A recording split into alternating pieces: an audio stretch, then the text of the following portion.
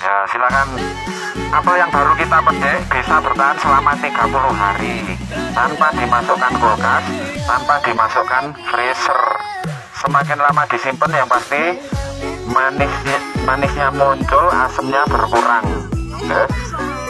Karena baru dipetik masih kuat asamnya, teksturnya masih keras ya. Nanti setelah nginep beberapa hari dipastikan lebih renyah. Lebih empuk.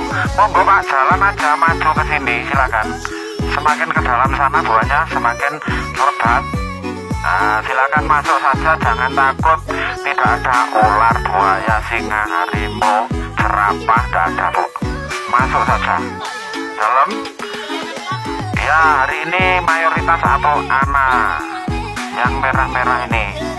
Silakan sambil dimakan bapak ibu ya. Silakan apel kami bebas pestisida bebas racun boleh dimakan sekalian kulitnya